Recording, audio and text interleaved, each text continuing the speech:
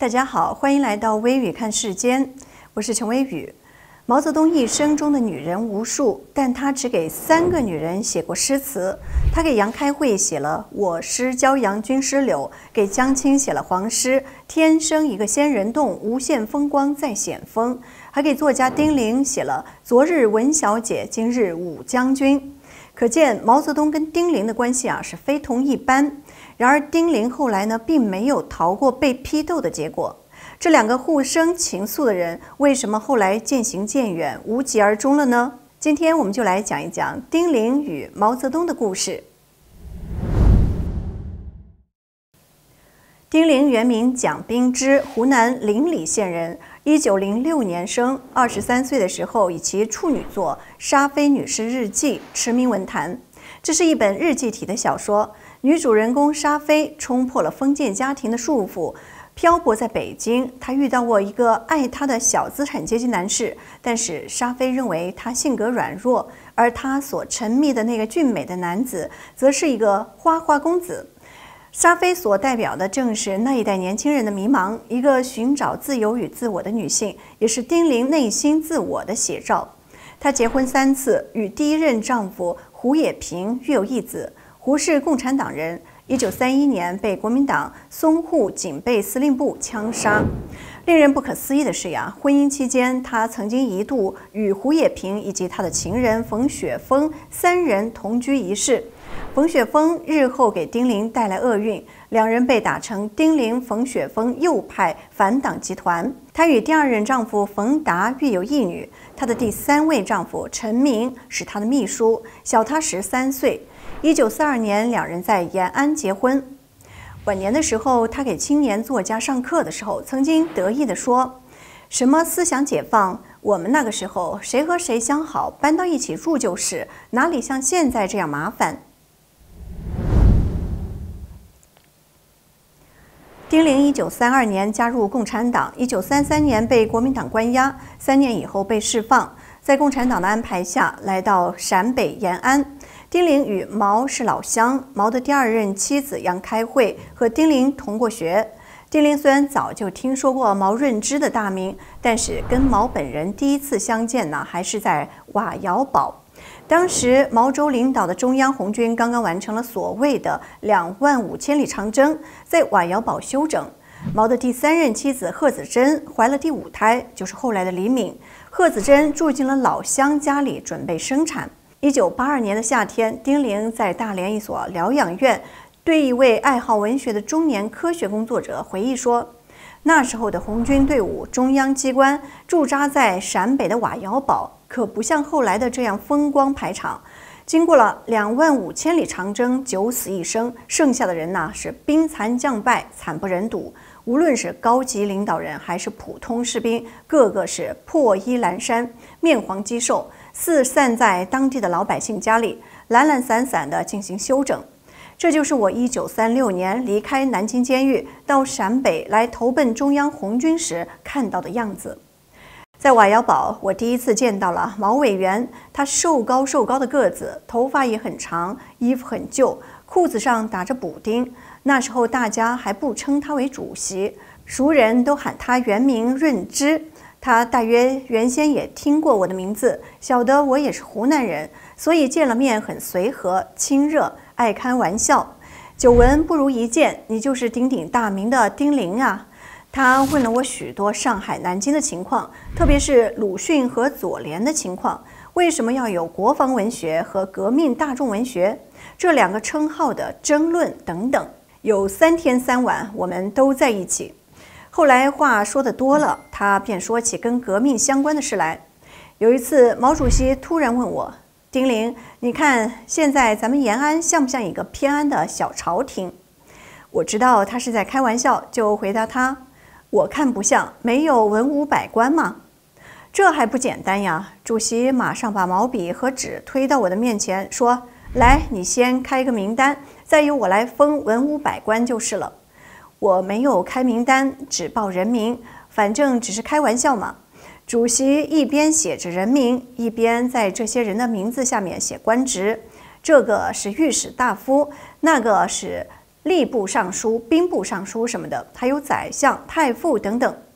弄完了这个，他突然又对我说：“丁玲，现在文武百官都有了，既然是个朝廷，那无论大小都得有三宫六院呀。来来来，你再来报些名字，我来封赐就是了。”他拉着我的手，扳住我的指头，一个一个地数起三宫六院七十二妃来。他封贺子珍做皇后，丁玲你就封个贵妃吧，替我执掌文房四宝、海内奏折。但我不用你代批奏折，代你圣旨，那是慈禧干的事情。大清朝亡在他的手里。接着呢，他又封了其他的一些红军女性做六院贵妃。再后来，他和我数起七十二才人来。可是瓦窑堡地方太小，又很偏僻，原有居民不过两千人，加上中央机关干部、警卫部队也不过四五千人，又是一个以男人为主体的世界，把瓦窑堡地方上稍有姿色的女人算在一起，也凑不了七十二才人，还包括几个没有来得及逃跑的财主家的姨太太呢。他是个有趣的人，在他最落寞的日子里，也没有忘记做皇帝梦。他扯着我的手说。看来瓦窑堡名声凋敝，脂粉零落，不是个久留之地。当时赴延安的文化人极少，女作家呢更是凤毛麟角，因此丁玲的到来受到了延安的热烈欢迎和隆重礼遇。宣传部还专门给丁玲举办了欢迎会，毛泽东还特意为丁玲填了一首词《临江仙》赠丁玲：“壁上红旗飘落照，西风漫卷孤城，保全人物一时心。”洞中开宴会，招待出牢人。铅笔已知谁与似？三千毛色精兵，阵图开向陇山东。昨日文小姐，今日武将军。由于得到毛的赏识，丁玲刚到延安四个月，就担任中国文学协会的主任，不必通报就能够自由进出毛的窑洞。那这两个人的亲密关系为何就无疾而终了呢？稍后我们继续。平时看手机和电脑太频繁呀，我们的眼睛受到很大的伤害，眼睛呢会感觉干涩、疲劳，甚至视线模糊。那最近呢，我使用了蓝莓优品新上架的日本 Quest Wise 的舒缓冷敷贴，感觉啊特别的好。那这款冷敷贴呢，它可以快速的舒缓，只需要五分钟啊就可以告别眼睛干涩。上班的时候贴上呀，可以清新醒脑。还可以舒缓花粉过敏起的眼部不适，它有改善视力的作用，可以促进我们眼部的血液循环。而且呢，它的原材料呢是百分之百的天然植物萃取物，不仅能够舒缓我们的眼睛，还能够调节肝经、肾经。如果每天使用啊，会让我们的眼睛重现神采。您可以点击我描述栏的链接来购买，也可以拨打我们的订购电话幺八零零八八零五六九七，工作人员就可以帮您下订单。简单省时高效，美国购满五十九美元可以包邮。中国大陆的观众如果是满六百美元，也可以享受包邮。尽管丁玲为共产党写了很多歌功颂德的文艺作品，但是，一九四二年三月，丁玲在延安《解放日报》上发表了一篇三八节有感的杂文。客观地介绍了当时延安男多女少、不尊重妇女的事实，道出了延安妇女们生活苦闷的真实状况。他没有敢揭露共产党高层共产共妻的乱伦行为，就引起了轩然大波，给他一生带来了巨大的灾害。被指文化人在后方妖言惑众，动摇军心，要毙了这些摇笔杆子的。如果不是毛护着他，说不准呢，就跟发表《野百合花》的王石卫一样，被枪毙了。当时贺龙不满地说：“丁玲，你是我的老乡啊，你怎么写出这样的文章？跳舞有什么妨碍？值得这样挖苦？”毛泽东也提醒他：“贺龙、王震他们是政治家，他们一眼就看出问题，你就看不出来。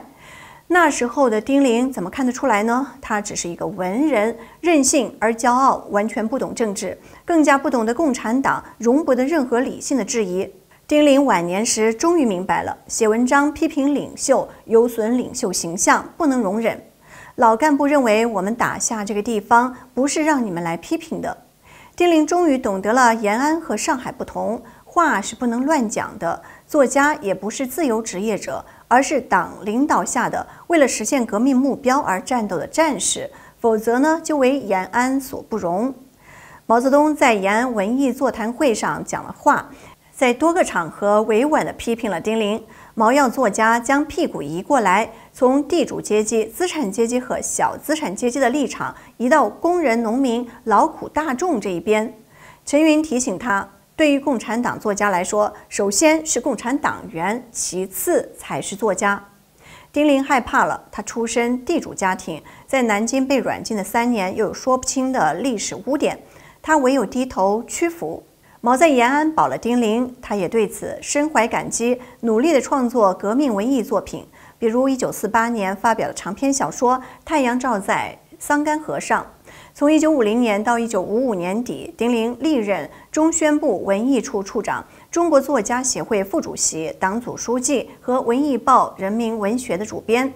但是好景不长，毛很快就像对杨开慧一样，对丁玲也翻脸无情了。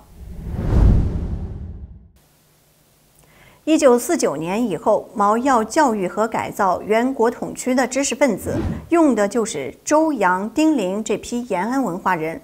但是丁玲和周扬是夙愿新仇，关系日趋紧张。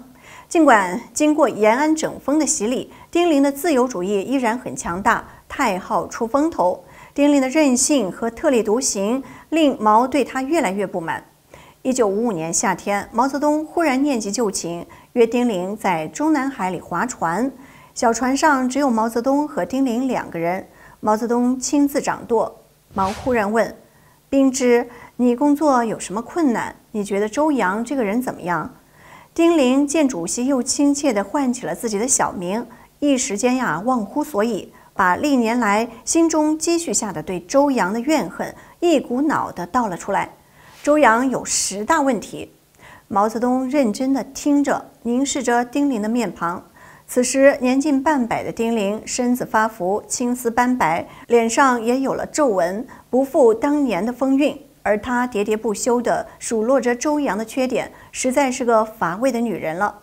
毛泽东耐心地听她讲完，笑着说：“你讲周扬有十大缺点，我倒是觉得周扬还有两个优点。”他的马列主义水平还可以。此后呀，毛就再也没有单独召见过丁玲，他心里已经有了结论。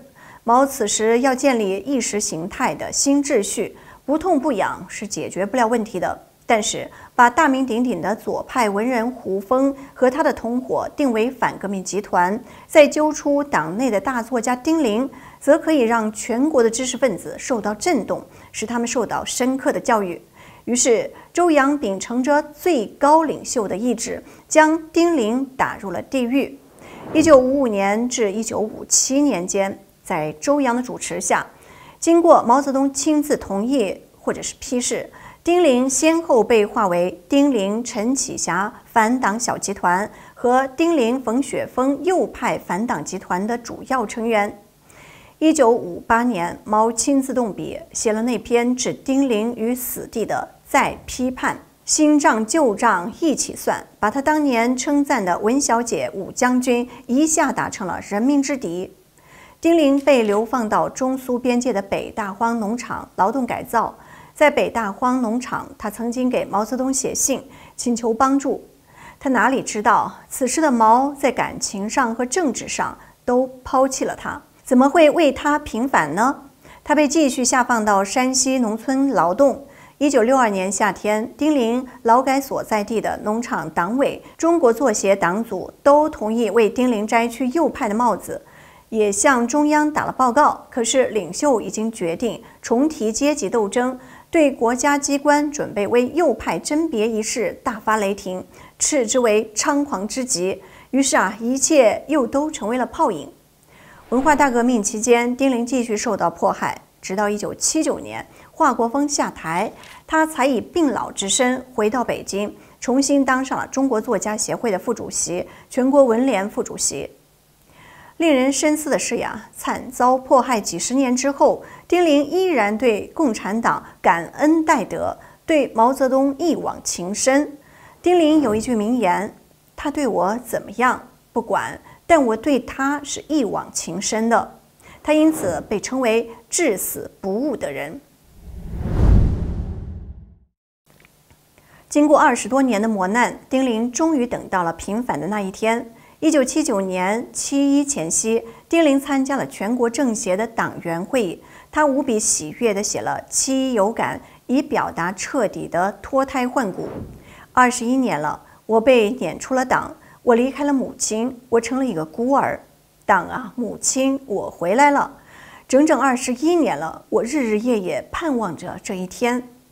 晚年的丁玲在各种场合一而再、再而三地倾诉自己在苦难中是如何的对党的坚贞、对信仰的坚守。有许多人都觉得丁玲简直不可思议。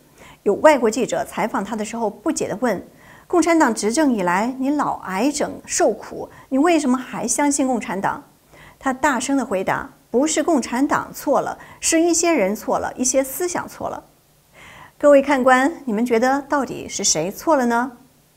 一九八四年夏天，中共中央组织部派人到医院向丁玲宣读了恢复她名誉的九号文件。当丁玲听到党组织肯定她是一个对党、对革命忠实的共产党员的时候，他脱口而出：“我可以死了。”丁玲于一九八六年三月四号去世，至死他都对这个迫害他的党忠贞不渝。真的是像一个得了斯德哥尔摩综合症的患者，深受歹徒迫害，反过来呢还要感谢歹徒。